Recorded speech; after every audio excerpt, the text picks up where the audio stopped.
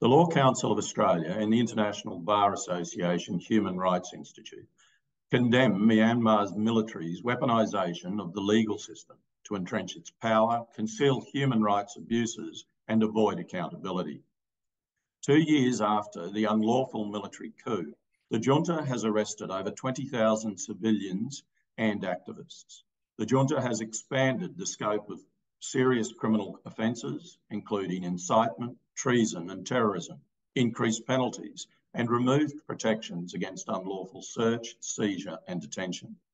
Sham trials before military controlled courts flout basic international fair trial standards at all stages of proceedings, and police and law officers reportedly demand lawyers pay bribes in exchange for access to their clients' and case documents, lesser charges and sentences.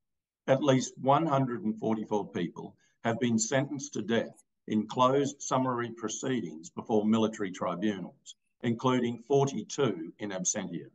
We note with grave concern reports of 920 deaths in military custody and the military engaging in widespread extrajudicial killings with impunity.